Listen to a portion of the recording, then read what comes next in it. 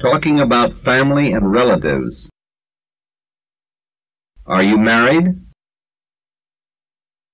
No, I'm not married. I'm still single. Your niece is engaged, isn't she?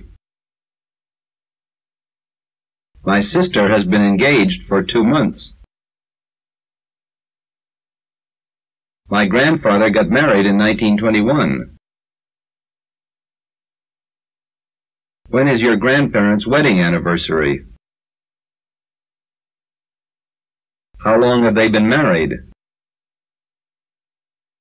They've been married for quite a few years. Who did George marry? Do they have children? They had a baby last month. My son wants to get married in June.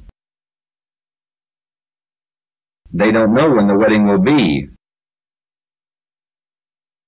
Their grandchildren are grown up now. She's a widow. Her husband died last year.